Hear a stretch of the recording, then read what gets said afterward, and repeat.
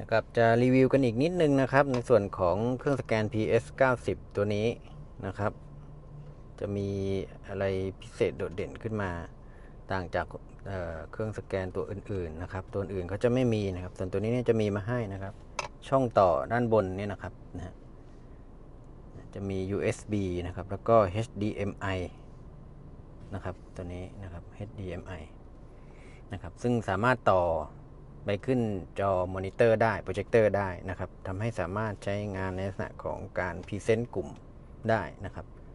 แล้วก็จะมีช่องต่อ USB มีหูฟังนะครับ มีต่อ Memory Card นะครับ ก็ค่อนข้างจะอเนกประสงค์นิดนึงนะครับ เหมือนแพดนะครับทำงานด้วยระบบ Android ปัจจุบันแพดก็มีซอฟต์แวร์อะไรมากมายนะฮะเข้ามาใช้งานนะครับ ตัวนี้ก็สามารถโหลดแอปพลิเคชันเข้ามาได้เช่นกันนะครับ ด้านหลังก็จะมีเป็นขาตั้งไว้เกี่ยวกับพวงมาลัยนะครับเกี่ยวลักษณะแบบนี้นะครับนะครับ ก็จะสแกนได้ตัวนี้นะครับ ก็น่าสนใจนะครับด้วยฟังก์ชันพิเศษหลายหลากหลายนะครับ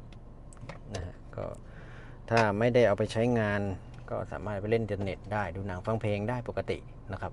ไวรัสก็ไม่ค่อยมีนะครับตัวนี้นะครับ ระบบ Android จะมีน้อยนะครับ ครับ ก็ส่วนของฟีเจอร์ก็น่าจะพอเป็นที่เข้าใจนะครับตรงนี้นะครับ